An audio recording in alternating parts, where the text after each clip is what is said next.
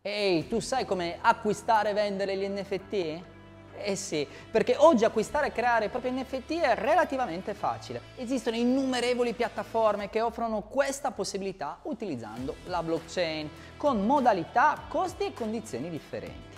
Per un collezionista acquistare un NFT significa aprire il proprio account sulla piattaforma, registrarsi o collegare il proprio wallet, acquistare l'opera scelta che troverà poi all'interno del suo account o wallet per decidere se rivenderla in futuro oppure accettare le offerte degli altri utenti seguendo le modalità di vendita della piattaforma.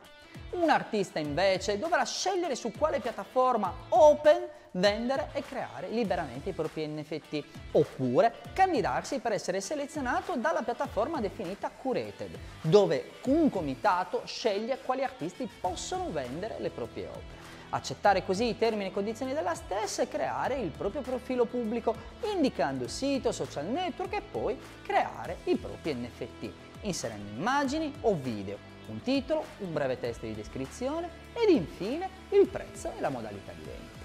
Ogni piattaforma ha le sue modalità, condizioni e soluzioni differenti e spesso anche tipologia di artisti e collezionisti che la utilizzano.